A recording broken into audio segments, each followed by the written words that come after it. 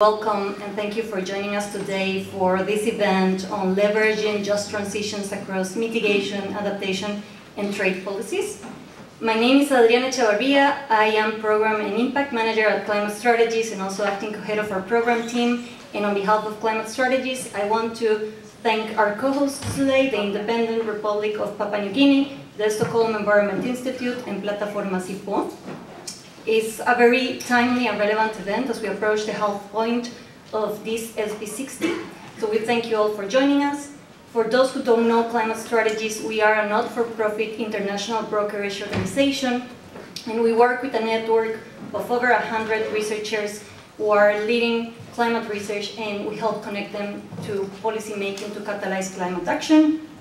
We have been working on advancing research on just transitions for over 100 years. We started in the coal sector, but soon after moved into broader aspects of the just transition and taking particular consideration of advancing the research in the global south as well. And this event actually sits in between two of our main projects, even though it brings into the conversation different pieces of our research. But those two projects are our South to South Just Transitions project and our project on making the climate trade, uh, excuse me, the trade system work for climate in which we are actually looking at border adjustments mechanisms or carbon border adjustment mechanisms and some of the supporting mechanisms that can also leverage the BCAs. So for example, the G7 Climate Club, the GASA, or Global Arrangement on Sustainable Steel and Aluminium, and the OECD's Inclusive Forum on Carbon Mitigation Approaches.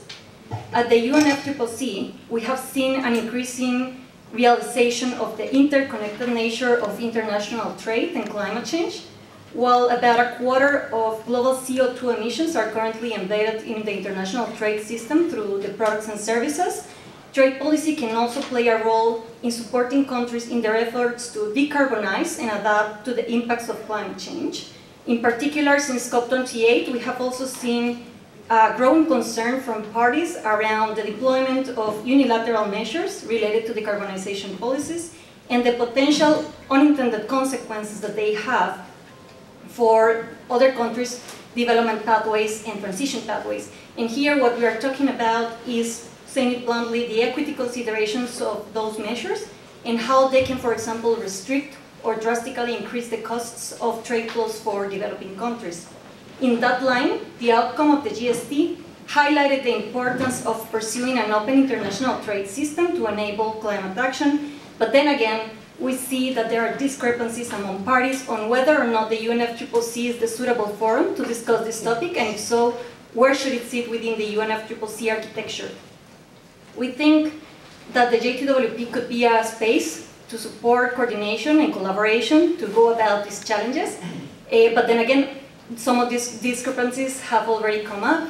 If you read the first draft of the SB60 text, there was a paragraph, paragraph 14, that was looking into the international trade, and it was a, a, matter of really deep contestation, so at the moment it's unclear whether or not it's going to remain in the text. But this is precisely what we want to explore here today. How can we utilize the UNFCCC to support a race to the top rather than a race to the bottom when it comes to international trade and climate uh, policy in action?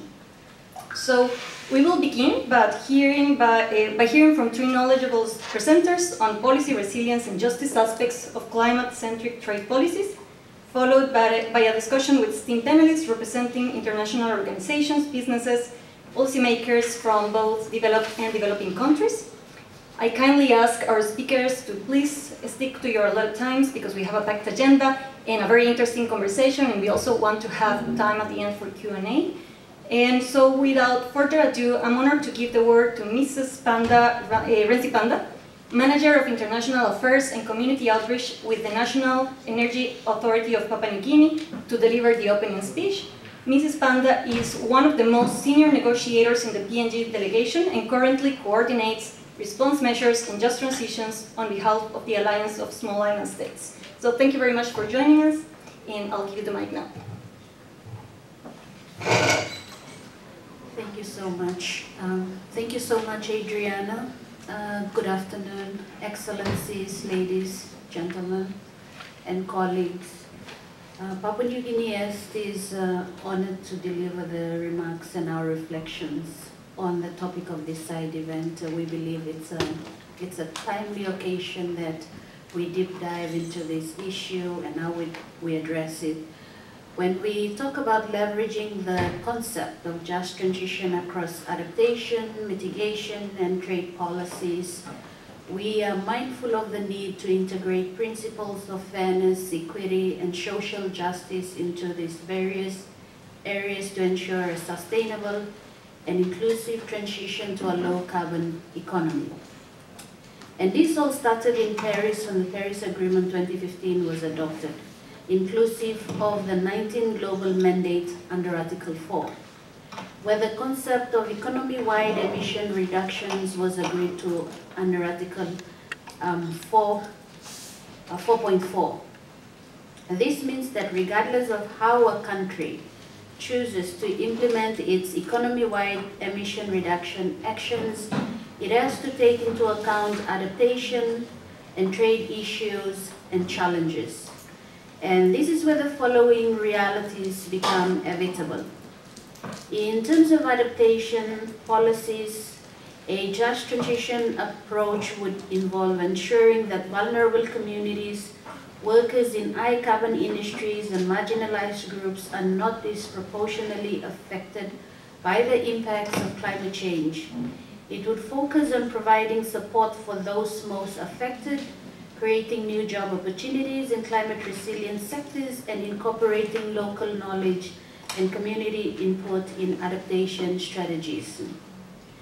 When we talk about mitigation, it comes to climate change mitigations efforts, a just transition framework would prioritize the phasing out of high carbon industries in a way that minimizes negative social and economic consequences, it would include retaining programs for workers in carbon-intensive sectors, ensuring that new green jobs are created, and providing support for communities dependent on fossil fuel industries. This approach should aim to ensure that transition to a low-carbon economy is fair and inclusive. And when we talk about trade policies, just transition principles can also be applied to trade policies by ensuring that the international trade agreements promote environmentally sustainable practices, protect workers' rights, and support communities impacted by global trade dynamics. And this includes considerations such as labor standards, environmental regulations, and mechanisms to support in transition industries. By leveraging a just transition framework across adaptation, mitigation, and trade policies, policies policymakers can work towards a more sustainable, equitable, and socially just transition to a low-carbon future. And by stepping back from my opening remarks, I would like to make mention of the efforts by the Papua New Guinea government immediately after Paris when we launched our National Trade Policy 2017 to 2032. And within the trade policy, we have a very specific section that's, that speaks to sustain, uh, trade and sustainability. And within that chapter, we talk about the enforcement of um, sustainability aspects within the context of trade, including environmental goods, products, and services. Last year in 2023, the National Parliament of Papua New Guinea passed its first ever National Trade Act. And within the National Trade Act, the international aspect of trade with regards to goods and services is restricted to the processes and the discussions under the WTO. So when we talk about the impact of trade on mitigation and adaptation, we also strongly link that to the economy-wide emission reduction initiatives of parties, including PNG, because currently we also have an amendment to our National Climate Change Act that speaks to efforts to be undertaken by the government in terms of accelerating mitigation efforts and the implementation of our NDCs, even through the imposition of fees, charges, and levies on carbon-intensive products entering PNG, and we currently have a minimum list. So essentially, by way of conclusion, this is not something that the rest of the world is going to avoid. we have an existing mandate that we placed um, in front of us nine years ago. It will depend on each country on how they assess and they align, how they will address trade implications across the, the mitigation and adaptation priorities, linking it back to the global um, agreement that was reached in Paris in terms of the consensus to move forward on how each country will determine its own economy-wide uh, emission reduction. And this also applies to group of regions and regional bodies, including configurations such as the European Union. So even for Papua New Guinea, the impact of the EU Green Deal does not come as a surprise. This was something we anticipated well after the conclusion of the Paris Agreement that the only direction most countries around the world will take in terms of realistically reducing their emission reduction and transitioning away from high carbon intensive sector is also through trade measures. As we conclude the challenge now before us under this process and our colleagues under the WTO process is where do we find the common ground where we can understand each other and start a conversation? Thank you. Thank you very much, uh, Mrs. Panda. Really good points that you're raising, and also very important ones because they not only apply to Papua New Guinea or CITES, but also to other developing countries that are facing similar challenges. So very glad to have you here. Um, Mrs. Jacob, thank you for joining us. So I'm going to move on now to Mikael. Mikael Allan Mikaelsson is Policy Fellow with the International Climate Risk and Adaptation Team at the Stockholm Environment Institute, who will introduce us to the topic of just transitions for sustainable and resilient supply chains. Mikael is also one of our research partners in a different uh, initiative or project that we have looking at just resilience in Global South countries. Welcome, Mikael. Thank you, Adriana, and thank you everyone here for joining us today. So um, uh, as you mentioned, um, I'm a policy fellow at Stockholm Environment Institute, where some of my recent work has been looking into uh, examining how climate impacts are affecting businesses and reconfiguring supply chains and the effects that this has on the workers in the community that underpin them. At the same time, we're also conversely looking at how just transition principles can be leveraged to enhance the resilience and the sustainability in these supply chains. And it's indeed in the context of the latter that we did some interesting work with the UN Global Compact via their Think Lab, which is a public-private uh, coalition uh, led by the United Nations, brings together 27 businesses and other intergovernmental organizations, such as the International Labor Organization and the uh, Confederation of International the International Trade Union Confederation, which sets out to accelerate the positive impacts of businesses uh, environmentally and socially. And so we worked on producing a, a, brief through research and business consultation that sets out to First of all, describe the effects of different types of climate risks on businesses and their supply chains, and highlight the benefits of improving the sustainability and resilience of supply chains through just uh, transition. In doing so, we would be drawing on ex existing business practices to demonstrate how multinational corporations are working with suppliers to manage climate and social risks in concert. We also make recommendations for businesses based on, on these insights to achieve just transition across climate mitigation and adaptation in their supply chains, and explore the role of public policies uh, in facilitating just transition through business-led climate actions in their supply chains. So the crux of this work is exploring the interplay between three different types of risks and the social justice implications. So the first one being transition risks, which relates to, of course, the both legislative and the policy drivers, as well as the market and technological drivers, or and the risk related, that are hindering companies that fail to transition to a low carbon or net zero compatible business models, could lock them out of markets or make their market access more expensive, or even erode the business models altogether with changing consumer preferences, as well as when uh, low carbon options become more cost effective. Now, the second uh, when we it's the physical climate impacts of climate change. So we're talking about both the, the acute impacts, heat waves and floodings, as well as the slow onset, rising temperatures and sea levels that are likely to disrupt supply chains. They're already doing that in, to certain, uh, on, a, on a significant scale, both uh, reducing uh, agricultural yields in some cases, um, floods and storms are causing disruptions by inflicting damage on infrastructure, uh, transportation infrastructure and, and, and manufacturing hubs. Um, and, but there's also the third risk, which is what we refer to as maladaptation or adaptation action with adverse outcomes. So maladaptation refers to actions that are meant to increase resilience uh, by reducing vulnerabilities, but in reality, they actually increase the vulnerabilities either down uh, down the line in terms of time or across space or by pushing those vulnerabilities onto other stakeholder groups. And uh, in, in, drawing on these insights and examining the interplay between these, uh, we extrapolated uh, several key findings that we translated into um, recommendations for businesses and governments. And if we start with some of the the, the key uh, points that we wanted to uh, highlight for the business side of things, uh, first of all, is to improve the transparency of supply chains. So businesses need to conduct materiality assessments and engage with suppliers to better understand their exposure to climate and social risks across their supply chains, as well as the negative externalities that the businesses have themselves on the environment and society.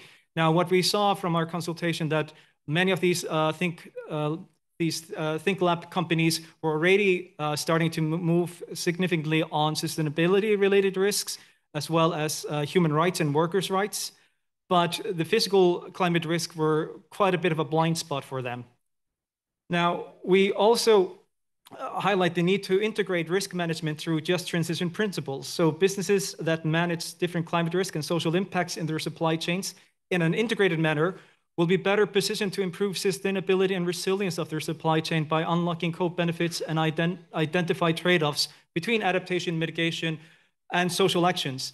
And a good example is that companies that integrate social justice in their mitigation, they are found to have uh, easier access and better retention of workers with relevant skills, and it facilitates technological uptake as well. When it comes to integrating those very same social and, and equity concerns into adaptation, it actually it results in a more resilient supply chain through the workers in the communities that are less likely to see disruptions to their business operations when in, in face of extreme weather volatility. And then there's also the interface between sustainability and resilience, where studies have shown that supply chains that are sustainable are also more resilient. And then support capacity building and access to finance for small and medium-sized enterprises. So businesses need to work with social partners to support suppliers with weaker institutional and financial capacity in their efforts to implement mitigation and adaptation measures in a socially just manner. It's not enough just to layering clauses on adaptation and sustainability, some of these suppliers don't have the institutional capacity and they really need uh, the businesses to work with them to uh, support their effort in addressing these social environmental risks. Now, when we come to the side of government, there was a strong call for all the companies that we spoke about for greater action on the government side, both in terms of legislative actions as well as increasing economic incentives. So in terms of the former, it was considered a need to have a strong um, mandatory requirements from governments and robust enforcement mechanisms to ensure that the to enable the kind of systems change required to deliver a socially just, sustainable, and resilient supply chains. They understood that they could there are certain actions that they can do which are more kind of low hanging fruit solutions but the uh, the more transformative actions are capital intensive and therefore there are concerns that their actions as early movers could actually render them uh, uncompetitive in the marketplace. And this is why they really wanted to see businesses leveling the playing field. Also, government should design better public procurement systems to send a clear market signal about products, services, and infrastructures that are produced in an environmentally and socially responsible manner. So it was highlighted for multiple companies that if public, if public procurement services are only going to be considering cost effectiveness, then you'll find a race to the bottom. Thirdly, governments should work with businesses and social partners to provide technical support and access to finance that will enable SMEs to adopt environmentally and socially responsible business practices. So, business, so small and medium SMEs, as we mentioned, as I mentioned uh, earlier, are often the very suppliers, but they also rely on supply chains themselves, over which they have very limited influence because of weaker balance sheets and lower access to finance. And then finally, since workers with informal contracts have often limited labor rights and weaker social protection, governments should take steps to formalize employment conditions and in businesses and work together with social partners to set in place mandatory requirements that address decent work deficits. This is another issue where it's difficult for companies to even move beyond the first tier suppliers, especially when you have a very decentralized workforce, which no one has accountability or, or, or responsibility for. So uh, those are just some of the insights that I wanted to uh, highlight from the report that we produced. Thank you very much, Mikael. Really, really interesting presentation, and I know we gave you a big challenge to cover all of that in just eight minutes, so we really appreciate that. Um, I would now like to introduce our final presenter from this round, Maiara Folly, Executive Director and co-founder of Plataforma Cipó, a Brazil-based think tank that focuses on issues of climate, sustainable development, and international relations. Maiara will discuss positive incentives and partnerships to build a sustainable and just international trade system. Thank you, Maiara.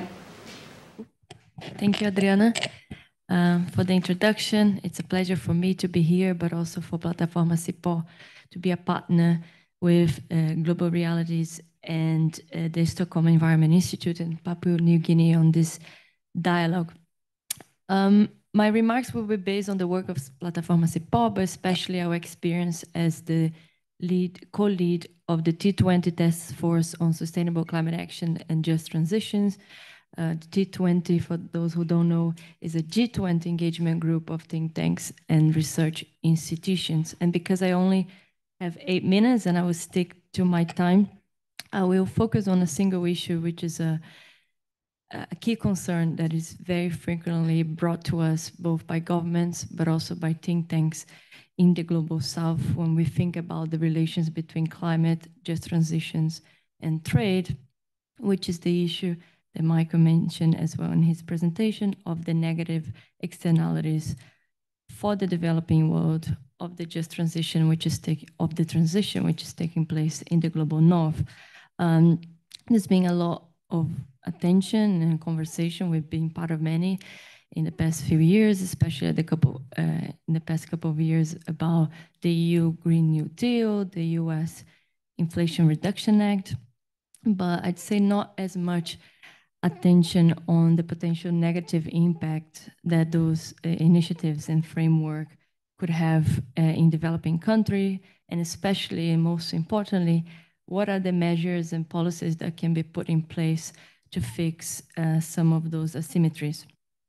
Um, and to illustrate the point I'm making, uh, I'm going to bring uh, uh, some figures from UNCTAD, uh, because UNCTAD estimates that CBAM, so the EU carbon, carbon modern, sorry, adjustment mechanism, um, could indeed lead to a reduction in carbon emissions, but of no more than 0.1%. At the same time, it could increase uh, the income of developed countries by 2.5 billion US dollars. But on the other hand, it could lead to a reduction of 5.9 billion US dollars in the income of developing nations. So the disparity in this case is quite significant.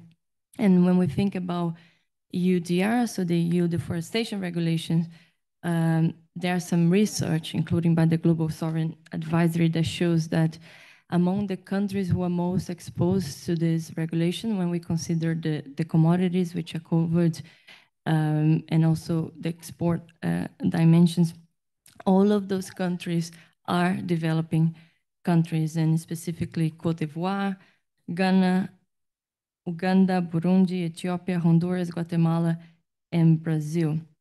And it's, it's worth pointing out that some of those countries, uh, in addition to facing still high levels of poverty, hunger, and other um, inequalities, some of them also uh, face uh, serious debt crisis, which often prevent them from having the fiscal space to invest in climate action. And that's why it's our view at Cipó that if we uh, if we're serious about delivering on a transition that is in fact global and benefits us all, we need to be talking more about positive incentives and partnerships. You know, there's no doubt that we need more sustainable supply chain. We know a lot of these trade flows are contaminated by deforestation, environmental crimes, and other forms of environmental uh, harms. But on the other hand, we need to take into account the social dimensions that come uh, when we think about uh, those uh, trade measures and regulations. And I know there's been some attempts by the EU and others to establish partnerships to, to address some of those concerns, but much more needs to be done, in my view, including because those three those discussions, which used to be a bit more confined into the space of the WTO or the G20 and more, let's say, economic financial bodies, now these discussions are impeding improvements and developments in other forums as well, including the you know the UN climate convention. So here in Bonn, we've been following more closely the negotiations around the Just Transition Work Program. And from the meetings I've been and from the countries which uh, make intervention in developing countries in particularly in particular, all of them either speaking on the national capacities or representing wider groups like the G27 in China or the Arab group, all of them have mentioned the issue of unilateral economic measures as being an impediment to sustainable development and all of them have called for more equitable uh, solutions to this issue.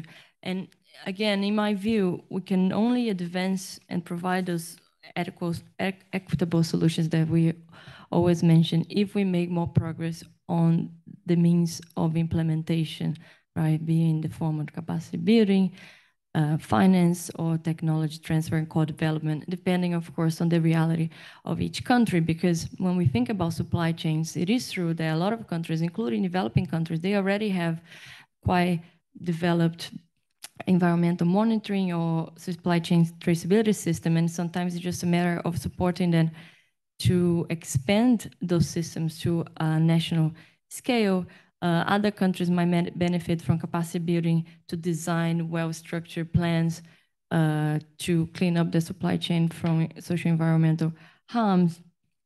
Uh, but others might already have those plans, and what they need is the finance to implement them. So my, the point I wanted to make, and I know my, my time is finishing and I'll finalize it, is that we need to, to take into account each country's circumstances, but we need to focus more when doing so on what are the positive incentives and the tools that we can provide to those countries so that they are not only able to have sustainable supply chains, but they can uh, promote the economy-wide uh, transition that Renzi was talking about, which is aligned with the 1.5 target. And um, Brazil has been putting this topic of just transition and negative externalities and how to build institutional capacity and increase finance in the scope of the G20. So it is welcome that these discussions are having that. So I believe there is some momentum for us to think more pragmatically on how we can foster international cooperation, but most importantly, coordination to, to prevent and mitigate those negative externality and ensure that the transition is indeed global and fairer. Thank you. Thank you very much, Maiara, for also shining a light uh, on two different topics that are also really interesting, like uh, not only the frame, the framework of incentives and partnerships, but also bringing in this a notion of the fragmentation of the institutions that are dealing with the topic and how this is currently impeding also progress uh, probably in, in, most, if not all of them, on climate action and, cli and progress on climate targets.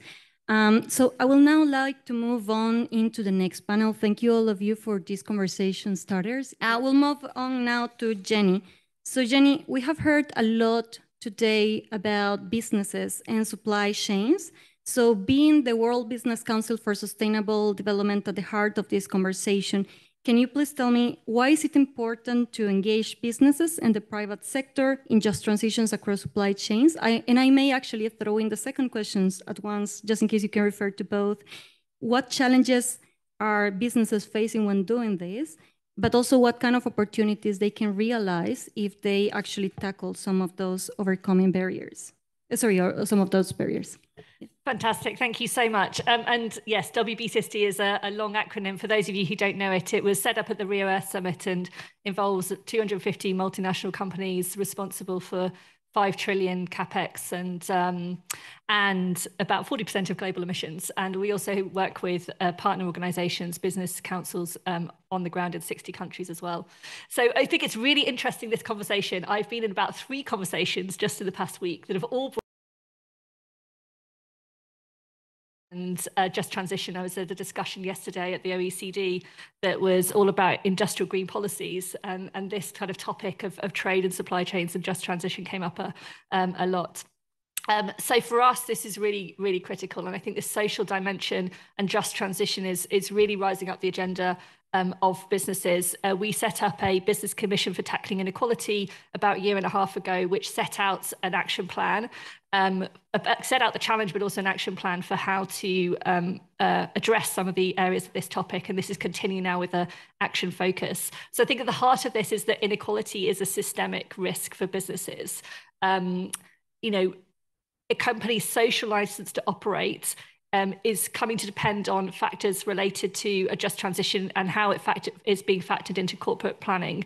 And it's increasingly being seen as um, an aspect for investors as to whether uh, as an indicator of the long-term profitability and sustainability of businesses. So just as example, Vale, uh, one of our members, suffered a huge crisis in, in Brazil uh, in terms of mine dam tailings, which um, had a huge impact on uh, the environmental impacts on, on, communities, but also, also rivers. They've had to entirely address how they think about just transition and how they build social responsibility into their corporate planning in order to have that social license to operate. And I think a lot of businesses are, um, are thinking about that too.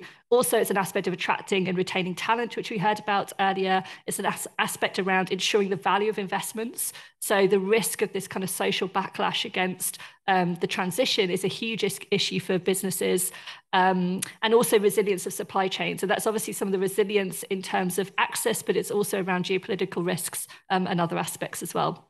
And so businesses have a huge role to play.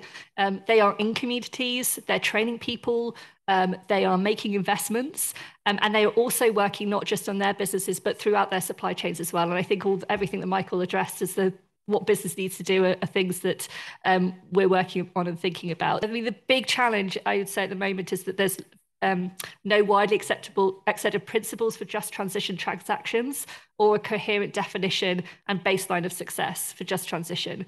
So it's very difficult to have compar compar comparability between businesses, uh, but also to access the financing um, that's needed.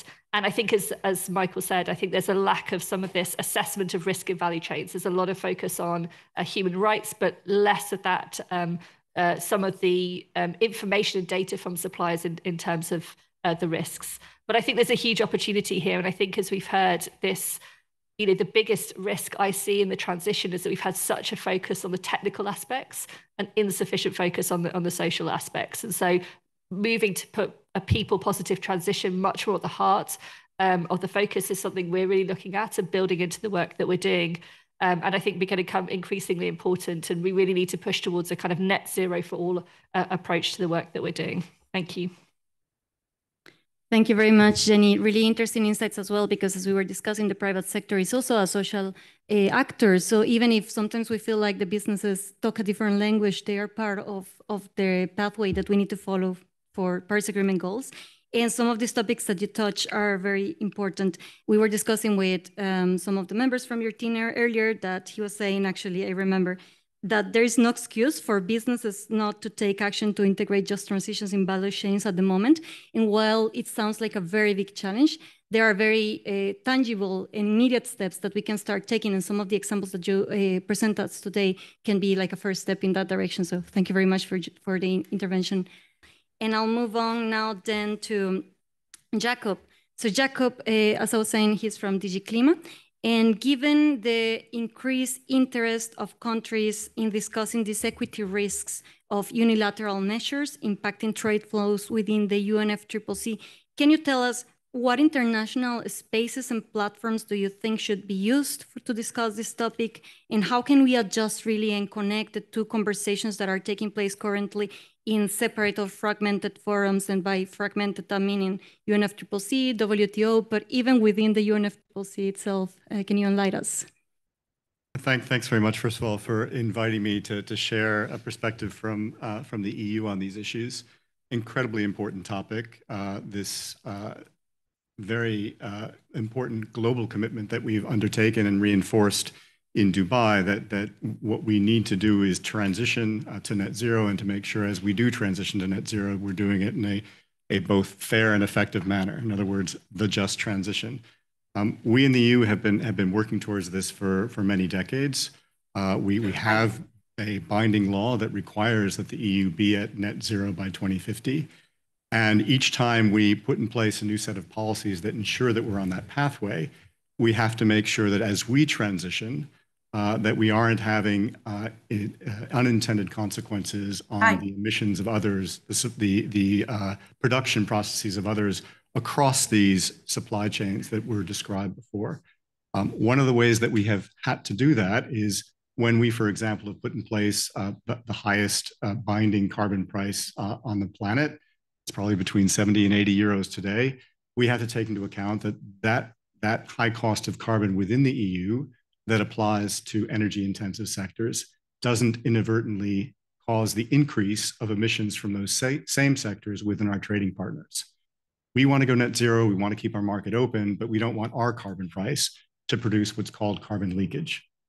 Similarly, when we require within the EU that, that our member states uh, achieve renewable energy policies and re renewable energy outcomes, and we include within that fuel mix biofuels, we want to make sure that that increased demand for biofuels doesn't lead to the production of unsustainable forest products in our training partners.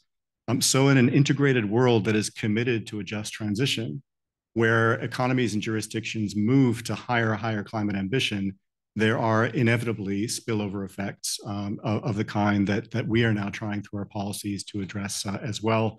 And we are trying to address these very carefully, uh, very thoughtfully in a way that, that uh, understands the impacts on, on third parties. Um, we also, as a first mover, realize that our policies under, are under more scrutiny than other policies. But it, has to be observed uh, that as more and more countries take their Paris commitments seriously, we are seeing similar policies emerge elsewhere. We know that there are other jurisdictions, for example, that are considering putting in place carbon border adjustment measures. We know that there are other uh, that um, uh, are, are exploring the way in which they can make sure that as they invest more, for example, in in um, uh, in, in, batteries, that they are conscious of the impacts of the, the supply chains that they'll be creating for critical raw materials. So it's it's not a, an EU experience alone. It's, it's one that, that's spreading elsewhere. And this clearly means that we have to enhance the opportunities for international cooperation on these issues uh, to prevent uh, uh, un unnecessary frictions or unintended consequences. As a result of that, we, we talk about these policies with our partners all the time uh, from the early design phase, now as we're beginning to implement them in the implementation phase as well. We do that through bilateral outreach, and we do it very, very intensively in the international organization that most of us also belong to outside uh, of Bonn and in Geneva, the World Trade Organization, which has the responsibility in particular to make sure that as countries put in place policies to achieve environmental objectives, they're doing it in accordance with agreed disciplines, that they are fair, they're science-based, uh, and they are, are not arbitrary or unjustifiable.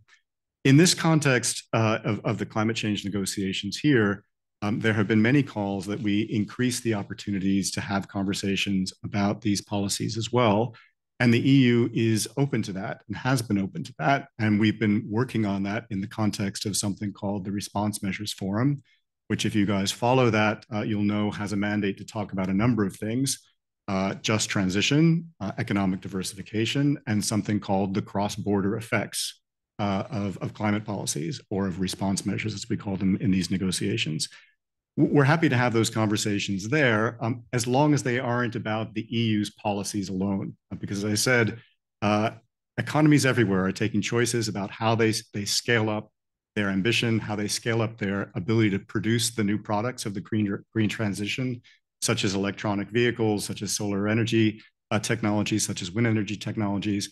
And as they do so, they are also having spillover effects on their trading partners, both positive uh, and negative. So in a multilateral context like this, one of the terms in which we want to engage in these issues is, is not just about one party's policies, but about all parties' policies, whether they happen to be developing or, or, or developed, and the spillover effects uh, of, of those policies.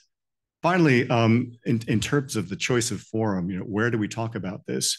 Uh, we, we favor the response measure space in part because the, the Just Transition Work Program is supposed to be much more than about trade spillover effects. Uh, it, it is supposed to be about the just transition of the workplace. Uh, it's about the challenge of economic diversification as well. Uh, and if, if the conversation became exclusively about what's called in, in this context unilateral measures, we would have uh, very, very little time to, to talk about anything else. And then finally, the, the, way in which the issue is often raised in, in the negotiations here seems to be out of a desire to talk about and even potentially to resolve disputes or concerns about individual parties' individual policies. And we don't have the machinery to do that in this process. Uh, we, we don't have anything like a dispute settlement mechanism of the kind that's offered by the WTO, which has a, a clear and predictable process for resolving disputes. And uh, you know, this process is contentious enough uh, without turning it into a, a circumstance in which um, every time we got together, we would be able to, to pick up different countries' elements of their climate policies that we had uh, more or less uh, a degree of, of comfort with.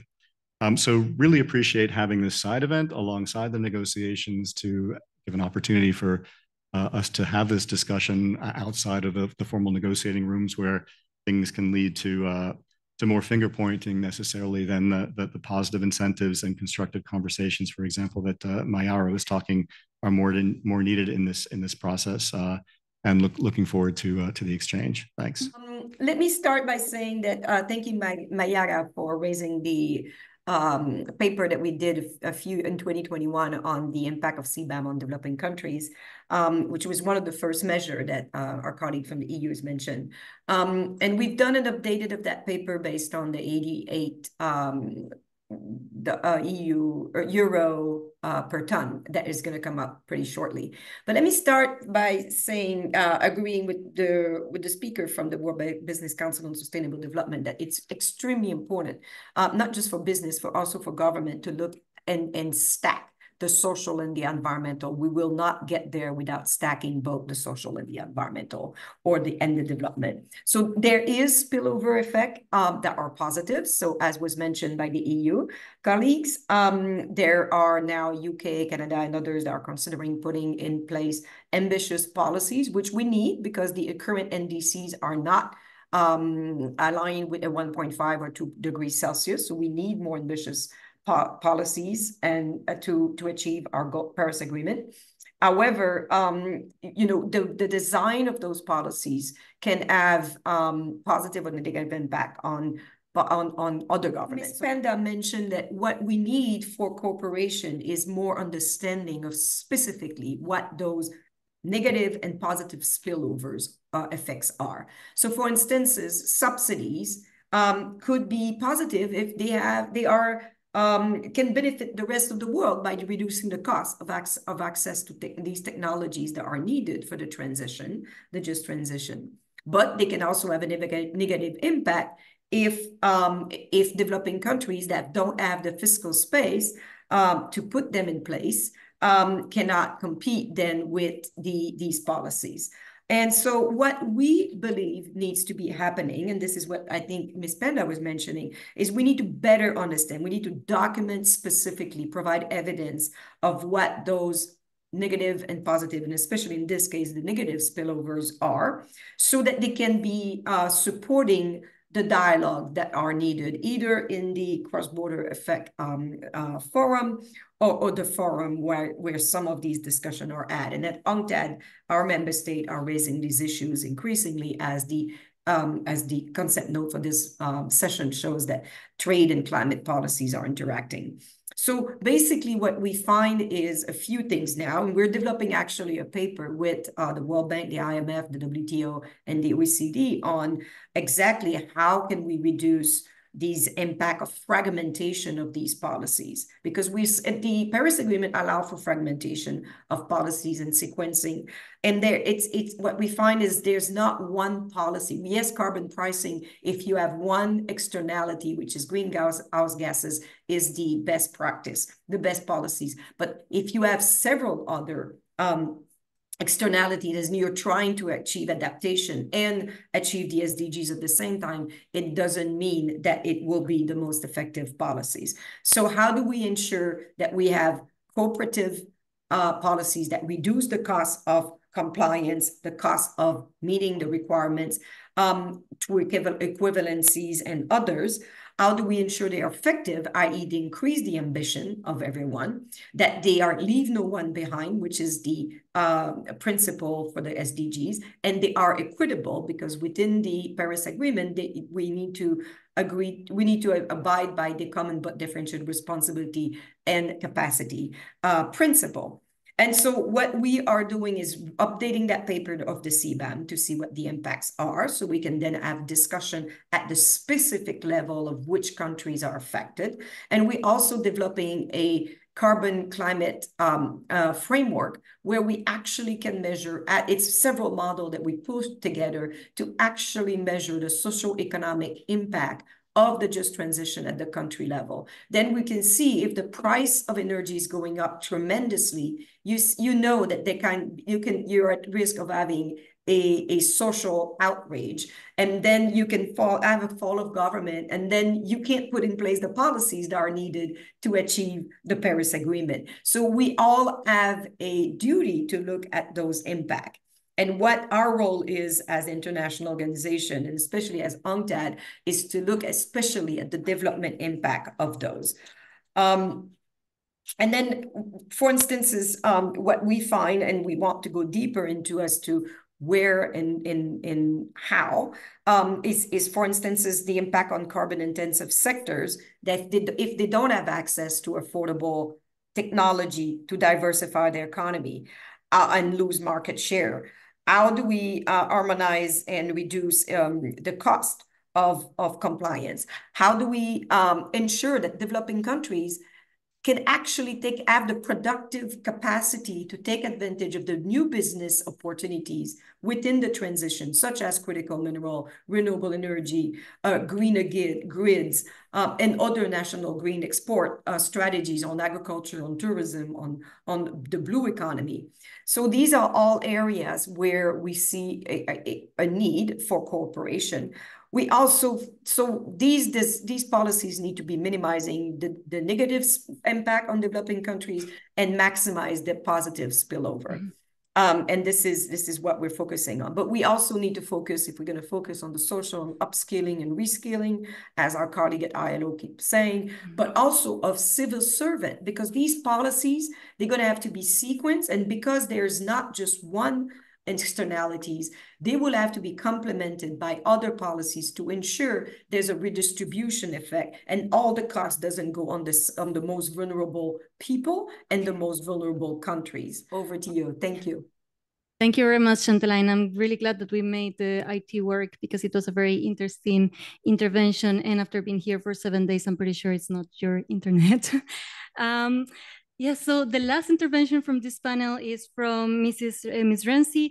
I know you already touched on this a little bit in your opening speech, but can you please expand a little bit on the importance of international cooperation for PNG, and in particular, if you see a potential for the JTWP, for example, to support achieving the goals of bringing together climate-centric uh, trade systems and just transitions. Thank you very much. And um, let me start by thanking uh, Chantal Line and Jacob. I think a common point that they both uh, raised in their intervention was the, the need by countries when it comes to discussing these issues, the need for understanding. Because when, when governments, presidents, and prime ministers adopted the Paris Agreement, um, from the outset, we all had um, we came with advisors, technical experts on the ground in Paris. And we had foresight and we were very well aware of what we're going to, well, what we would be agreeing to and how that would impact on our uh, economics in the next 10 to 20 years. For PNG, we have the same um, carbon neutrality target um, as the European Union and uh, that target was, um, was established with the understanding of how we move forward with the implementation of the Paris Agreement. And when we look at international cooperation, I think the first mistake uh, we would rather say within this process is the inconsistency when we make me mention of uh, um, this issue as being very specific to trade implication.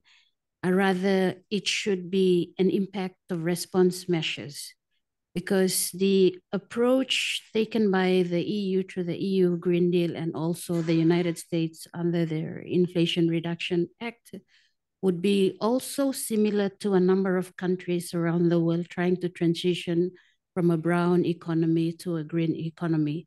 They have the legal mandate under the Paris Agreement to set targets, including how to achieve those targets, and it may encroach into uh, trade arrangements. So these are things that are decided at the national level.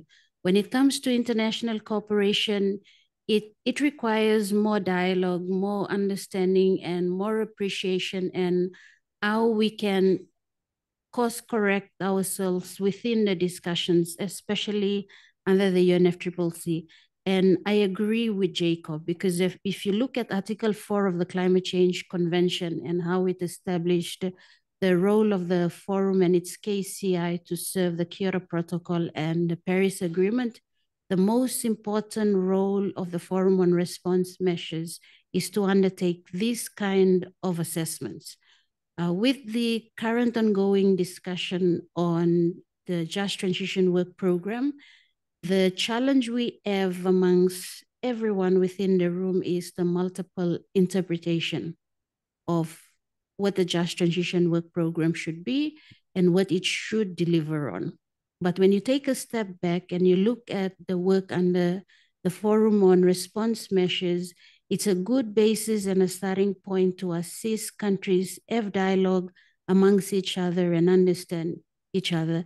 Whether is this a trade issue or is this an issue that comes about as a result of a response measure that is being undertaken in the EU, in the United States, even in developed countries around the world, because we've agreed to specific provisions in the Paris Agreement for developed country parties to take the lead.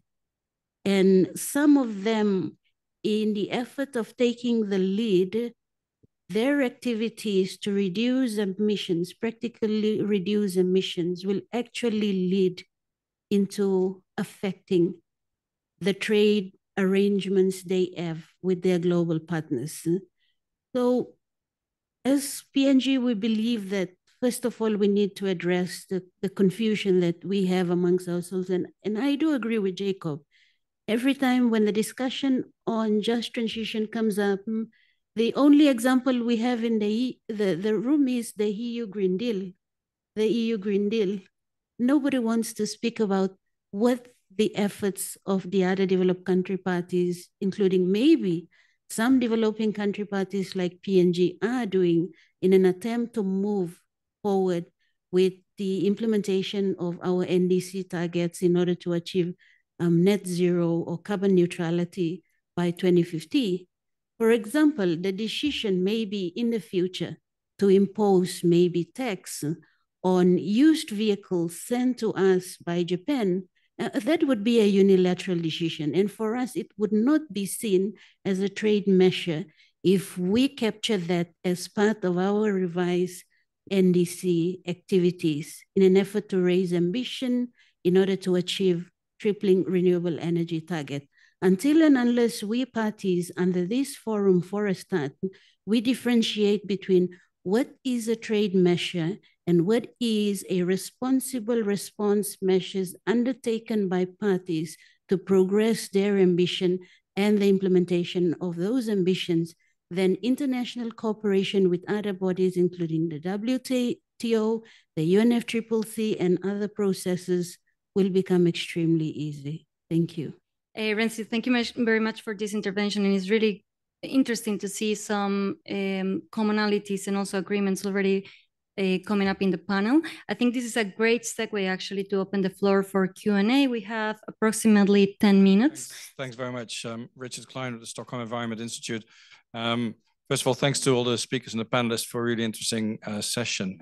Um, the, um, the, the, event is, is, you know, the title is about adaptation, mitigation, and trade. And we've heard a lot about mitigation and its specifics, um, and, you know, which is the best form. So I hear much that in a way also has an adaptation analog. You know, for example, what, what Jake is saying, you know, the spillover effects uh, of, of, of measures. One could argue that adaptation uh, through trade can work in a very similar way. It's called maladaptation, as, as Mikael said. Um, that, for example, through you know, changing the sourcing of, of companies, say in Europe, um, what it, it, could affect the you know, subsistence farmers in Brazil, for example, speaking about coffee. Um, I guess a specific question to to Jake is, you know, I know that the uh, the submission of the uh, of, of, European Commission on um, on the Just Transition Work Program uh, doesn't actually talk about adaptation or just resilience at all, even though the adaptation strategy of of the EU introduces the term just resilience. I was just wondering what your take is on sort of the adaptation perspective of just transition and whether you also see uh, either the JTWP or, or another forum as um, addressing that. The, you know, the decision on the JTWP refers to the three goals of the Paris Agreement, so that would include a global goal and adaptation. So I was wondering whether you know you've got uh, any insights into European perspective there. Thanks. Uh, so this is Kimmy Cushman, scientific advisor at Plant Based Treaty. So my question is for Jacob, but I'd be happy for the other panelists to comment on as well. Um, I'd like you to comment on the responsibility of the United or the EU to uh, for diet change toward plant-based diets um, with respect to the net zero goals as well as uh, carbon leakage, as you talked about. Um, given the fact that the EU relies on uh, feed, animal feed for the animals that are grown to be eaten and used for animal-based foods um, in the EU, uh, as well as the animals that are exported from around the world uh, that are grown uh, in countries that are exploiting the resources in those countries and the land, um, and what the EU's responsibility is to change those demands. Uh, thank you to the panelists, um, Stephen Bryan from Australia. Um, so in discussions around green trade, we often highlight the challenges and the risks, and of course these exist, uh, but we don't, don't often talk about some of the benefits. So um, research coming out of my country, out of the Australian National University on International Green Economy collaborations illustrates the potential for these collaborations to foster both environmental and industrial gains uh, through things like technology incubation, R&D coordination, harmonized taxonomies, reduce barriers to trade, decarbonize value chains across both the global north and the global south. So would anyone on the panel be able to comment on the idea that these international green collaborations can lead to benefits, including for just transition pathways? Thank you very much. Who would like to start? Maybe Jacob? Sure, I'm happy to, and I'll, I'll, be very, very brief and therefore not provide probably some uh, unsatisfactory responses in terms of completeness. In terms of the scope of the Just Transition Work Program, I think in, in its earlier stages, we're really trying to honor its origins in these negotiations, and it really was the, the labor groups uh, and the ILO that, that brought the concept of just transition and particular the just transition of the workforce into our conversation. And they were they were concerned in particularly about mitigation policies that had the potential to displace workers that had previously been relying on either fossil fuel production or, or fossil fuel related industries like the automobile sector. So we think that's the appropriate way to start the JTWP. But, but the idea of transition and the idea of justice should cross-cut everything that we're doing uh, in, in the UNFCCC, and it certainly should be built into the work that we're doing on adaptation as well. And, and we certainly hope to see in the indicators that are being designed under the, the GGA um, uh, program at the moment to take into account these concepts uh, as well. It's not a direct translation because the transition uh, to 1.5 is a positive one. Uh, to avoiding 1.5 is a positive one, while the transition that we have to go through to deal with the impacts of, of 1.5 is a, is a much more negative one. In both contexts, I think we have to take into account that whether we're generating benefits of just transition, or we're dealing with the unintended negative consequences that we have to make sure that the, the poorest and the most uh, vulnerable are, are prioritized in that, in that effort because they have the least capacity to deal with either of those aspects. In, in terms of, of the EU's vision for moving towards a plant-based uh, economy, um, very, very tricky from a political point of view, as I know by working on these issues, you must be very well, well aware of. as we're moving through our different sectors, I suppose you could say that we've tackled the, the low-hanging fruit the first, right? So the energy-intensive industrial power uh, producing sectors that are under the cap of the ETS, the easiest to put in place a carbon price, a cap, and, and a pretty direct result.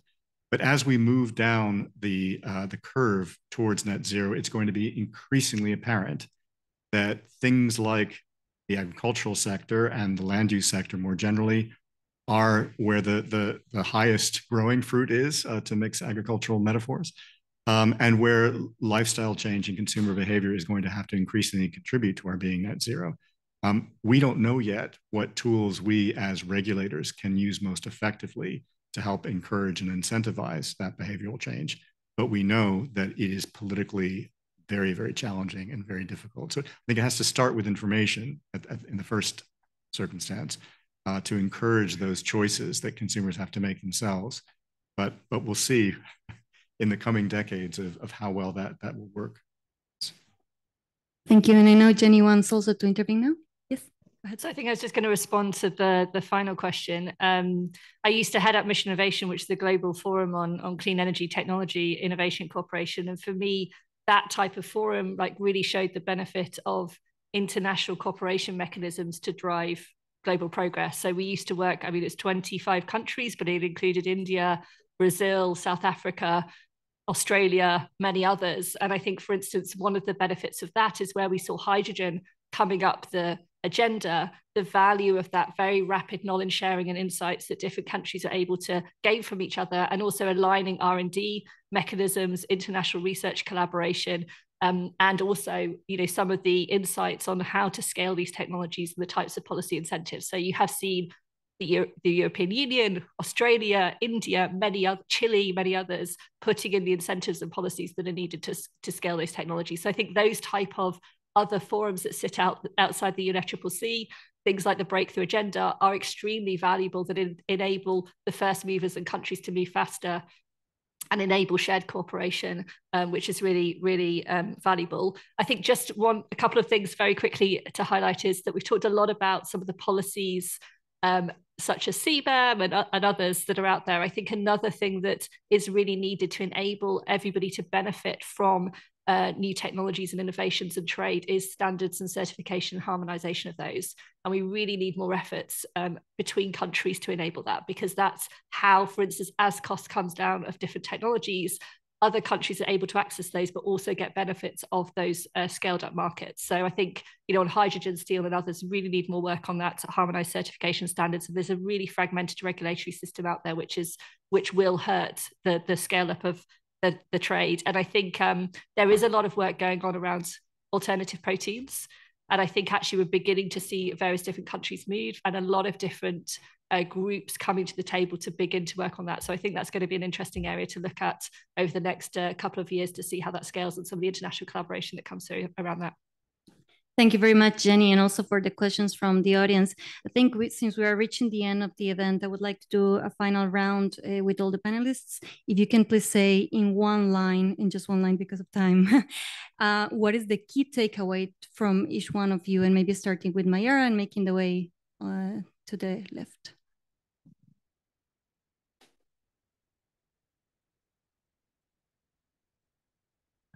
No, we'll be very brief. Basically, I think the lesson hearing from all of the panelists is the need for greater international cooperation, that there are negative impacts of this transition, but there are some positive opportunities as well. So the need for well-documented evidence to, to identify those opportunities and make sure we are addressing those negative spillover effects. And of course, that requires a strong international collaboration. So it's great that we're having this uh, conversation today. Uh, yeah, uh, I would say probably two things. Um, the importance of addressing mitigation and adaptation uh, in, in context of trade and supply chains uh, together in an integrated manner is incredibly important because the, the risk of neglecting one can actually just uh, annul any any benefits and progress you do on the other side of things. Um, and also just that addressing it through just transition is not only good because it's the right thing to do, but there's actually a strong business case in it. There are both benefits to the workers, the communities that underpin the trade and supply chains, as well as the businesses themselves. I've spoken a lot, so I'll be very brief. Um, uh, I think the key uh, need for a combination of evidence and, and evidence-based analysis of the kind that, that UNCTAD was referring to, um, and, and empathy, uh, the, the, the need to, to understand the different positions from which we're coming uh, in, in this joint effort to get to net zero. So I think for me, it would be that we have to put people positive transition at the heart of the work we're doing. We've really got to um, shift. And I think also that we need this um, cooperation between business, government, and the finance sectors and come together much more as this is a mission together um, and problem solving together if we're going to tackle the challenges, both the just transition, but also some of these trade challenges that we've been talking about as well. For me, I'll be very brief. It's I agree with everyone. It's about uh, recognizing both the positive impacts and the negative impacts of um, the outcome of our discussion here. And secondly, to have more of such dialogues so that uh, we can allow, you know, other participants uh, who normally attend this session to come and join in and also have a more diverse understanding of what we're trying to do and consider holding such dialogues at every um, session of every SBs. Thank you. Chantal Line? Thank you so much. So one is um, uh, based, we've reviewed NDCs from 60 developing countries. So on the positive side, there's a lot that trade and investment policies could be helping developing countries as means of implementation that are underutilized in the existing NDCs. So under the UN leadership of supporting the next round of NDCs, UNCTAD is developing the guidelines on trade and investment related measures to maximize the impact that they can have. Now, on adaptation, on mitigation, social, uh, socioeconomic, and environmental impact. So we're, we're, we're looking at all of those. So I agree with everything you said. The second part is there will be spillover effect. And one of them, for instance, is, many, many of the trade measures that are being put in place right now are limiting the diffusion of technology that is needed.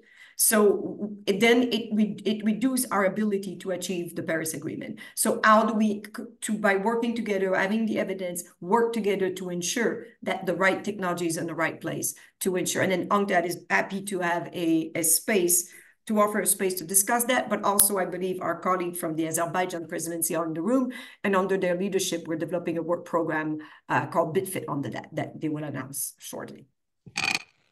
Thank you, Chantal Line. I'm afraid that's all we all the time that we have today, so I need to finish now with the event. But I want to thank all the panelists for the great insights. I think so far entrenchment has been the flavor of the day here at Bonn. So it's really great to see this space is coming up with WCA agreements and really uh, intentions to keep the conversation going. As we were saying earlier, many participants uh, mentioned on a race to the top rather than a race to the bottom style of conversation.